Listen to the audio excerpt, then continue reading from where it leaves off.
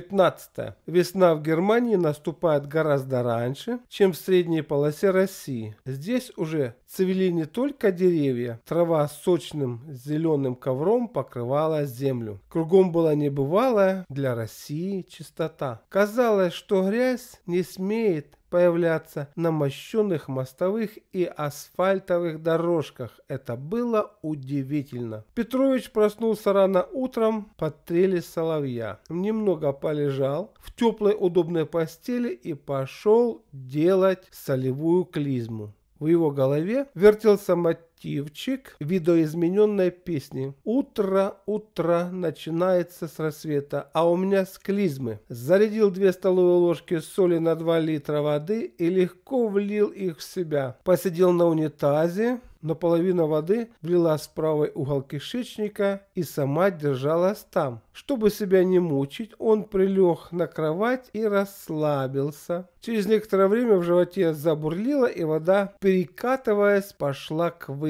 Петрович вновь сел на унитаз и за несколько раз освободился от воды. Посмотрел, что вышло. Шлаков стал отходить намного меньше, а первая вода вообще вылилась чистой. Затем он посмотрел на свой язык. На нем был белый налет. Желтизна, присутствовавшая ранее, на нем исчезла. Это означало, что произошла расшлаковка печени и теперь выходят лишь слизистые шлаки, которые имеются в каждой клеточке организма. По аюрведически эти шлаки называются ама. Вот когда они выйдут из организма, он будет совершенно чист и отзовется необыкновенным ощущением здоровья, энергии и юности. Петрович это состояние нутром чувствовал. Ввиду того, что гибкость постепенно увеличивалась, Петрович решил заняться йогевскими асанами как раньше. Ими он начал заниматься после приезда в Германию, а теперь слегка увеличил нагрузку. Гибкое тело без труда принимало различного рода сложения, наклоны, скруты и растяжения. Было приятно заниматься. Время до начала рабочего дня было достаточно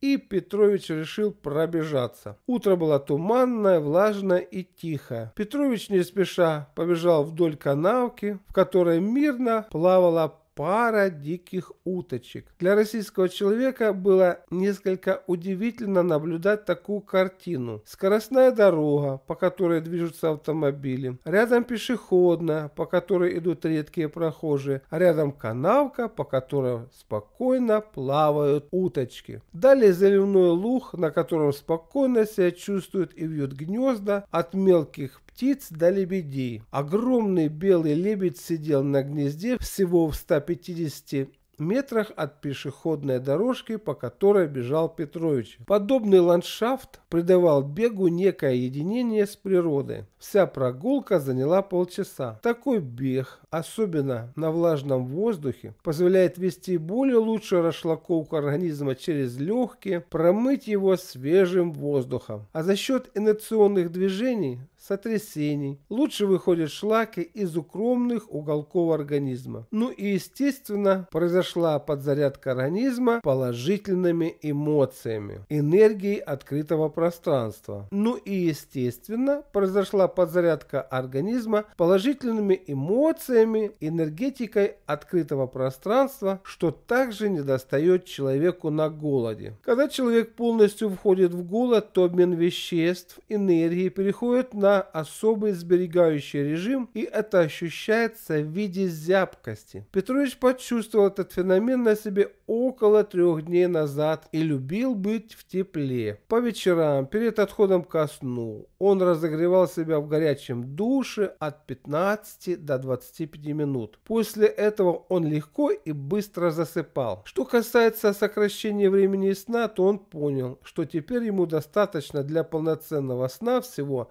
4-5 часов. Именно это и произошло с ним сегодня. Он заснул в 11 вечера, а проснулся в 4 утра. Посмотрел на часы и лег спать дальше. После этого ему приснилось три сна. В первом сне он был со своим отцом и видел своего закадычного друга детства Сергея и его отца. Какая-то незримая связь соединяла их вместе и продолжала соединять сейчас. Петрович вспомнил самый яркий эпизод их дружеских отношений. Мальчиками лет по 9-10 они были на рыбалке. Повстречали пацанов такого же возраста, и они захотели забрать велосипед у Петровича. Петрович вцепился в велосипед, не отдавал его, а они лупили его. Было обидно за то, что не можешь дать сдачи. Он расплакался, и тут Сергей налетел на них, гаркнул, и они быстро в рассыпную. В этот момент Петрович испытал к Сергею нежное чувство благодарности и умиления. Далее Петрович вспомнил другие два поступка к Сергею. Они ловили пауков таран тарантулов. Петрович в этом деле преуспел и был более удачлив. Пара здоровенных пауков жила у него в банке-террариуме. Сергей пришел к нему в гости и попросил одного, но Петрович зажал. Сергей ушел раздосадованный. Потом, когда в 15 лет он занялся штангой, Сергей пришел к нему в спортзал и говорил о том, что сам не прочь заниматься. Петрович начал рассуждать о постоянстве, регулярности занятий и этим обидел его его, он опять ушел. Далее пути их вовсе разошлись. Сергей рано женился, имел двух дочек. Как-то летом, идя с работы, Петрович встретил его едущим на велосипеде. Сзади сидела старшая дочка, девочка лет 7-8. Они поздоровались. Что-то заставило Петровича остановиться и долго смотреть вслед удаляющемуся велосипеду с Сергеем. Не найдя объяснения подобного поступка, он повернулся и пошел дальше. Буквально через 2-3 недели по городку прошел слух, а затем была статья в газеты. У Сергея был праздник, шло приготовление пищи на неисправном газовом баллоне. Последовал взрыв. Дети погибли. Жену выбросило в окно с переломами ног. Сам Сергей обгорел, но не очень. После этого события все в семье Сергея пошло наперекосяк. Хотя они оправились, и даже вновь родилась девочка после выкидыша, жизнь была совершенно не та, что раньше. Возможно, если бы Петрович тогда дал Сергею паука, посоветовал бы заниматься, тропинка судьбы пошла бы по-другому, и подобного не случилось. Вот так мы сами того не подозревая, сплетаем себе кармический узел, который будет держать и нас вместе. Именно это и было показано Петровичу во сне. Во втором сне ему приснилась спасалка, спасательная станция, на которой он работал. Подошел к нему высокий, стройный и немного знакомый юноша и что-то попросил. Они пошли вместе через длинный коридор без окон. Примерно на середине коридора Петрович заметил сидящего на полу мертвого клеща черного цвета. Ого, подумал Петрович, вот это размеры. Он тронул его босой ногой и пошел дальше. Обернувшись, он увидел, что клещ присел и готовится к прыжку на него. Клещ прыгнул, но Петрович отбил его рукой. Клещ прыгнул вновь. Петрович уклонился. Тогда Клещ схитрил, он прыгнул на стенку, оттолкнулся от нее и прыгнул на левую лопатку Петровичу. Петрович попытался его столкнуть правой рукой, но почему-то не смог достать. Тогда он начал кричать юноше «Стряхни, стряхни его с меня!» Юноша взмахнул рукой, и клещ упав на пол, разбился как стекло. Пол был заляпан мазутообразной жижей. Петровичу почему-то стало жалко клеща. Он хотел поймать его живым. В третьем сне ему приснилось, что он едет по немецкому городку на машине за провожатым. На перекрестке провожатые ушли вперед и потерялись. Петрович поехал сам по улочкам в надежде их догнать, но тут получилось так, что он стал тормозить, пропуская встречную машину. Машина не хотела останавливаться, а сам Петрович остановился и незаметно для себя оказался вне машины с рулем в руках. А от руля шли какие-то проводки, которые соединяли его с катившейся машиной. Путем волевого усилия «Стоять!» Петрович через эти проводки остановил машину. Затем он подошел к машине, наматывая провод. Он состоял из двух проводков. Петрович мотал их в кольцо и продвигался к машине. Почему-то провод запутался вверху на стене стенке здания. Он зашел за здание, там стоял дом и были какие-то люди, семья. Мужчины начали ему помогать отцепить и смотать провод. При этом полезли куда-то на вышку, отцепили и дали ему целую бухту. Вдруг неожиданно появился мужчина с голым торсом и пошел к нему. Петрович присмотрелся. Мужчина был атлетического телосложения с большими руками. Глаза у него были на выкате, как рачи, слепые. Но чувствовалось, что он видел. Само тело походило на покойника с синими кровоподтеками. Он представился. Петрович стал вспоминать имя и фамилию в прошлом знаменитого штангиста и вспомнил. Произошла беседа, после которой они пожали друг другу руки. Петрович забрал бухту смотанного провода, Часть из проводов была белая, а часть черная. Он отнес их к машине и просто положил, не распутывая. На этом сон кончился. В эти сутки работы было мало, и они с семьей компаньона Александра и его женой Нелли отправились посмотреть старую часть Бремена. Везде была чистота и порядок. Все значительно для истории города сохранилось в идеальном порядке. Самые старые дома Бремена, построенные в 17 веке,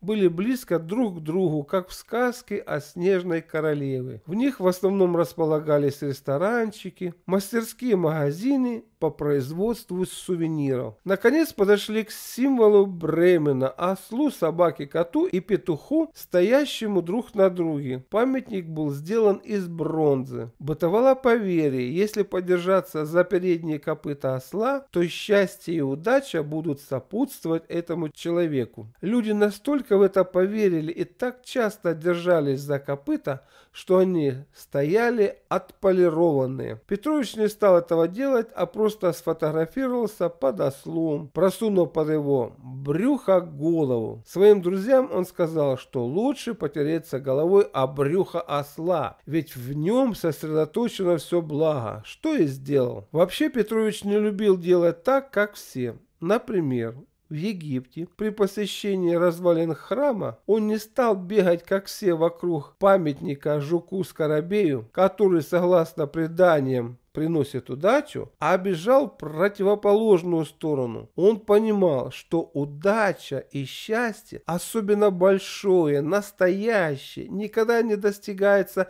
стандартными, давно избитыми поступками. Только оригинальность и своеобразие способствуют этому достижению. Поэтому всегда поступал совсем по-другому. Во время этого голода присутствовала расслабленность, а во время голода начались приступы ложного голода, отмирала патология. Петрович понимал это и всеми силами крепился этому, хотя какой-то предательский, льстивый голосок шептал ему «Голод сделал свое дело, и пора выходить». Потом приступы голода резко оборвались, и почувствовался небольшой прилив сил. 16. Петрович считал окончание суток 18 вечера. Самочувствие было нормальным, исчезла слабость в ногах, расслабленность в теле. Петрович ждал этого состояния. Когда организм зашлакован и все его силы тратятся на наведение внутри себя порядка, то человек испытывает слабость, расслабленность, некоторую подавленность и зябкость. По мере очищения от иго токсинов возвращается бодрость, возрастает тонус и не так мерзнешь. Вот это состояние начало появляться. Организм сбросил лишнее, стал стройнее, как юноша, запустил на полную мощь все механизмы без пищевого, то есть внутреннего питания, и вошел в совершенно иной ритм жизни. Рано утром проснувшись, Петрович первым делом сделал солевую клизму. Две ложки соли сверхом на 2 литра воды. Часть воды вышла быстро, а вторая самопроизвольно задержалась правой части кишечника. Чтобы себя не мучить излишними подтугами, а дождаться самопроизвольной работы, Петрович прилег в постель. Он положил руки на правый бок и стал представлять, что кишечник, его правая половина, вибрирует, сокращается. Непроизвольно он погрузился в сон на полчаса. Проснулся от позыва в туалет. Выход показал, что отторгается какая-то желчная патология. Шла черная жидкость с мазутными пятнами. И все же это печень больная, а не толстый кишечник, подумал Петрович. Разрушение зубу указывало на то, что нарушен минеральный обмен, а они совершаются только в печени, а не в толстом кишечнике. Итак, дело в печени. Вот почему были такие боли под правой лопаткой. Она чистилась. Ввиду того, что печень не полость, а ткань, ее наиболее трудно очистить. От обычных чисток очищается лишь крупные желчные протоки печени, хорошо желчный пузырь, а на уровне мельчайших желчных протоков, которые составляют большую часть желчных сосудов печени, не говоря о ее клеточном уровне, обычные чистки мало что дают. Особенно это сказывается у тех лиц, которые имеют скрытую желчную патологию. У более-менее здоровых людей обычные чистки дают великолепный эффект. Поэтому больным желчными расстройствами крайне необходимо, помимо обычных чисток, усиленной сокотерапии терапии применять голодание, а для того, чтобы печень очистилась качественно на клеточном уровне, необходимо как минимум 14 дней голода. За это время происходит обновление клеточной массы, которая выбрасывает из себя все шлаки и ненужные вещества, которые она закапсулировала в себе, чтобы очистить кровоток. А лучше отголодать 28 дней, чтобы цикл обновления клеток печени повторился дважды и гарантия очищения, восстановления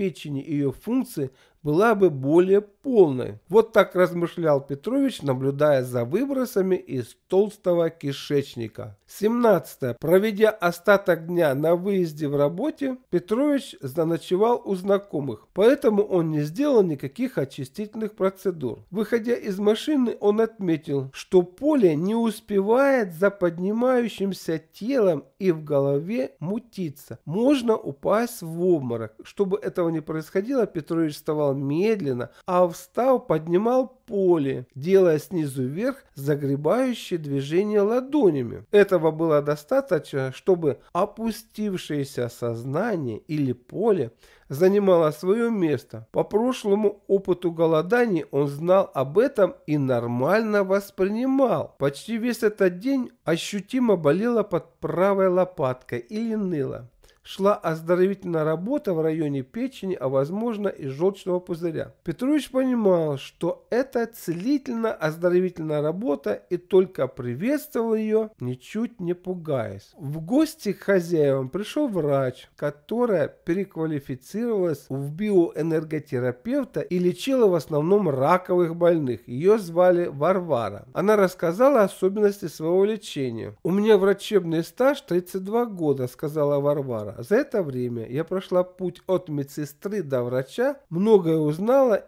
и поняла. Сама я из Сибири и очень много посетила различных обучающихся семинаров и лекций у различных экстрасенсов и целителей. Постепенно до меня дошла, человек наживает свои болезни сам за счет дурных черт характера. Первое время я пыталась воздействовать на человека руками по типу джуны. В дальнейшем я научилась диагностировать и лечить по фотографии. Однако со временем я поняла, что это не совсем то, что нужно. И я много объяснила сама себе, наблюдала за больными, изучала их жизнь и искала первоисточники заболевания. И вдруг меня озарило. Наработанная информация выстроилась в упорядоченную систему и показала следующее. Первое. Люди, страдающие расстройствами, заболеваниями поджелудочной железы, как правило, в характере имеют выраженную отрицательную черту злость. Если она чрезмерно выражена, то такой человек заболеет раком поджелудочной железы. Второе. Обидчивый человек в награду за свои обиды получает болезни желудка. Чрезмерная обидчивость приводит к возникновению рака желудка. Третье. У тех, кто ненавидит других людей, возникают разнообразные проблемы с желчным пузырем. Ненависть в своей наиболее выраженной форме приводит к раку желчного пузыря. Четвертое. Такие отрицательные черты характера, как ненависть, гнев и жестокость, портят функцию печени. А когда она выражена чрезмерно, то провоцирует возникновение рака печени. Пятое. Сама по себе жестокость в дополнение к печеночным проблемам порождает головные боли, ведь именно через голову отдаются приказ на выполнение жестоких действий по отношению к окружающим людям, животным. Шестое. Гордыня вызывает у человека поражение почек. Чрезмерно гордые люди страдают от гломерулонефрита и других проблем с почками. Седьмое.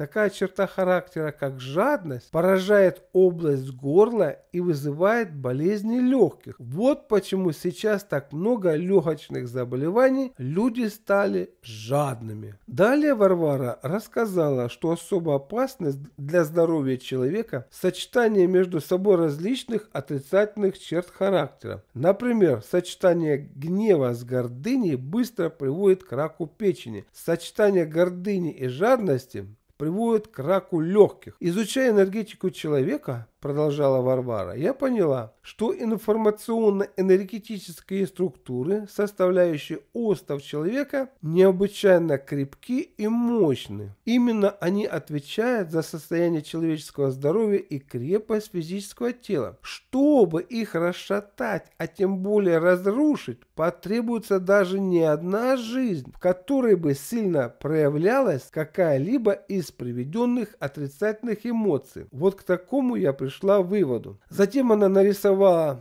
схему и разъяснила ее. Я рассматриваю человека на нескольких уровнях. Самый верхний – это душа с багажем отрицательных эмоций в ней. Следующий уровень пониже – мир психики, в котором эти эмоции проявляют себя, потребляют жизненную энергию организма. Энергетические перекосы вызванные отрицательными эмоциями, влияют на протекание энергии в меридианах. В них возникают пробки, которые ведут к сбою в работе внутренних органов. Кроме сбоя в работе энергетических каналов, психические возмущения через головной мозг и нервные пути передают свое влияние на эндокринную систему человека. Это ведет к буре, хаосу в ее работе. Гармония нарушает и возникают болезни из-за чрезмерности или гормональной недостаточности. Все эти влияния, нарушение работы в энергетических каналах и гормональной системе передаются на конечный уровень человека, на физическое тело. Именно здесь возникает болезнь. Отсюда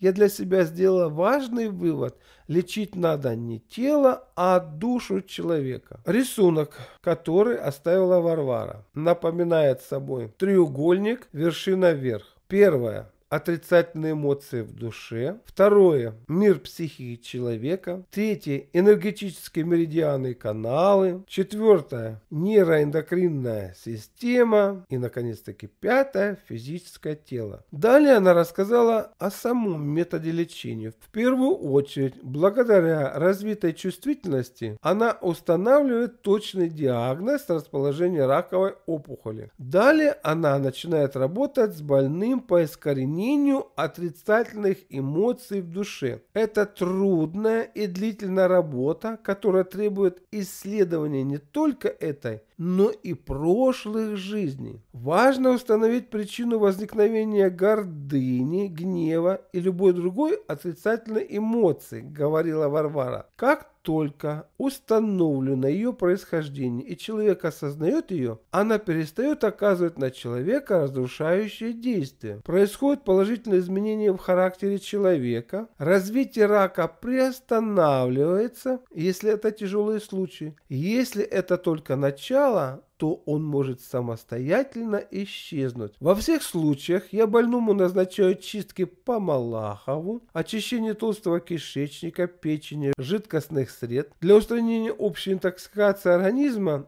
вызванные болезнью, и рекомендую некоторые свои. Далее рекомендую несколько курсов голода. Что касается питания и других общеукрепляющих процедур, то я целиком согласна с указанным автором и заставляю пациентов их выполнять. Только подобное сочетание позволяет полноценно излечить человека от рака даже в четвертой степени поражения. Беседа с Варварой лишь подкрепила убежденность Петровича в том, что надо менять черты характера на все более и более положительные. Длительный голод, как сито позволяет отсеивать все плохое и оставлять все нужное и положительное. 18. В эту ночь Петровичу приснился сон, что он ел жареное мясо, шашлык. Он видел какую-то ситуацию, где среди неясных фигур людей ему предлагали поесть. Он отказался, так как знал, что находился на голоде. Однако через некоторое время кусок жареного мяса сам оказался во рту. Петрович почувствовал тот особый, неповторимый вкус хорошо приготовленного шашлыка из отборного мяса. Он жевал его, обильно текла слюна, а вкус буквально пронизывал все тело. Но только он собрался его глотнуть, как в ужасе вспомнил, что он на голоде, и подобное действие означает конец голода. Он начал выплевывать мясо обратно. Почему-то его выплевывалось намного больше, чем он взял в рот. На этом Петрович проснулся, обрадовался, что это произошло с ним во сне и обратно заснул заснул. Подобный сон означал одно – какая-то патология находилась на краю гибели и, воспользовавшись сном, когда волевой компонент дремлет, попробовала склонить сознание к выходу из сна – навязав ему иллюзию поглощения вкусного мяса. Однако она просчиталась. А в скором времени мы увидим,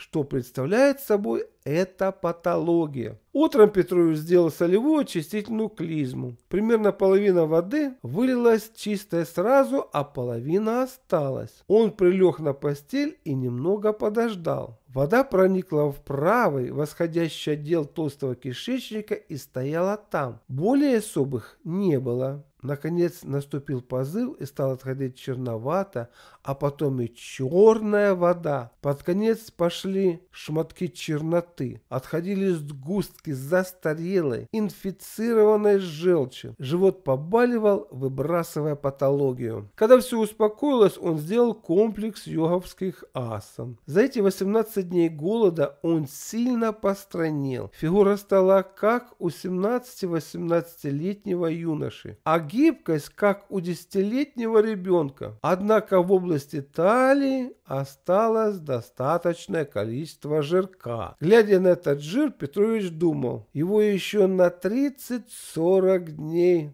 точно хватит. Во рту стало намного лучше, не так сушило. Однако вечером сплевывался гной. Иммунная система вошла в режим атаки и выбивала патогенные микробы из их уголков. Все это выходило в виде гноя. Весь день был занят работой. Самочувствие было нормальным. Под правой лопаткой больше не болело. 19. Начало дня прошло по накатанной схеме солевая очистительная клизма. В этот день с самого утра до ночи пришлось работать. Опять возникли боли под правой лопаткой и держались почти весь день. Задумываясь над процессом голодания, читая литературу по этому вопросу, Петрович понял самую главную особенность проведения длительных голоданий – мотивацию. Чтобы сознательно, добровольно выдержать длительное голодание, необходим мощнейший стимул или мотив. Как правило, человек сам создает этот мотив в своем сознании, и он служит той движущей силой, которая подавляла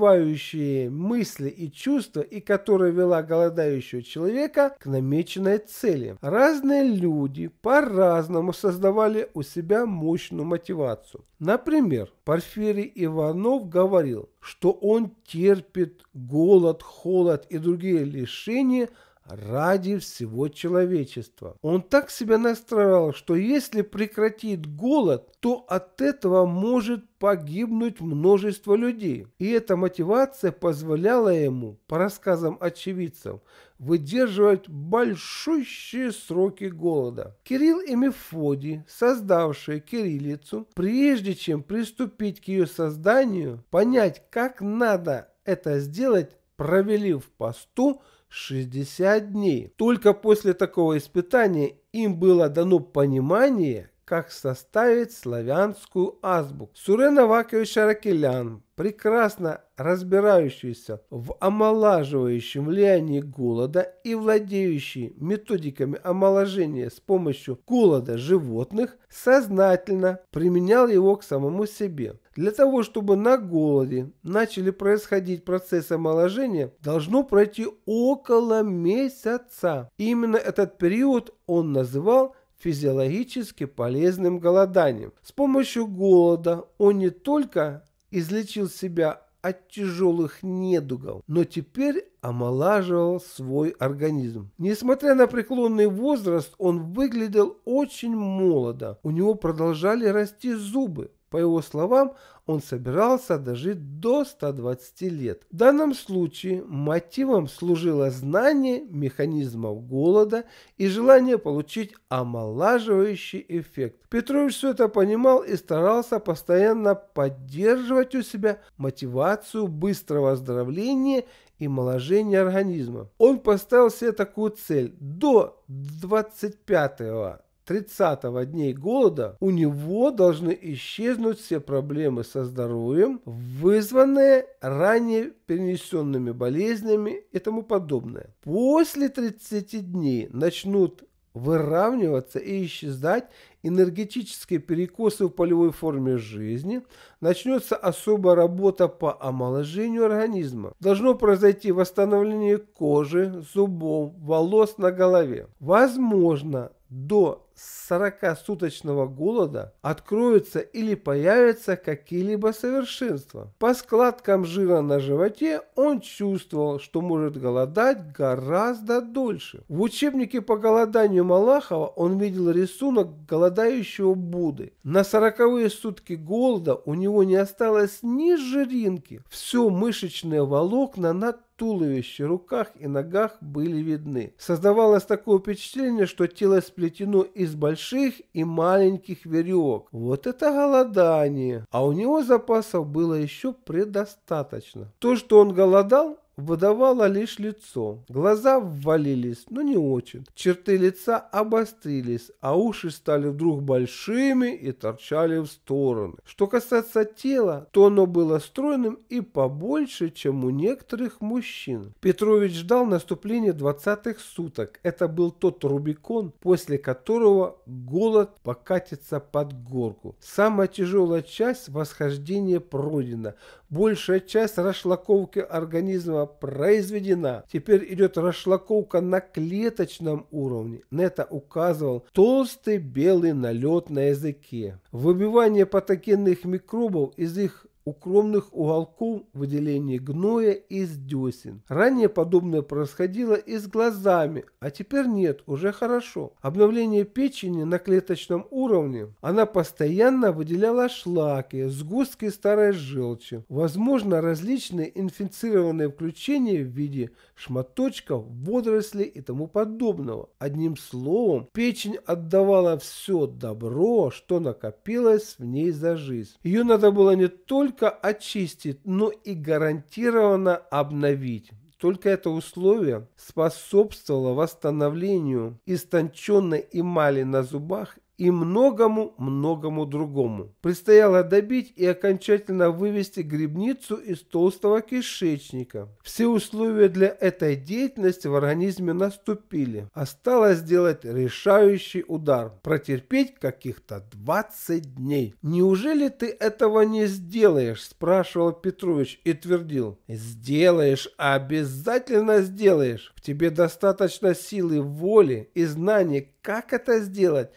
Не считай дни, а просто живи. Они сами проскочат незаметно. Мое обращение к посетителям канала. Поддержите канал, поставьте лайку, дайте какой-нибудь отзыв.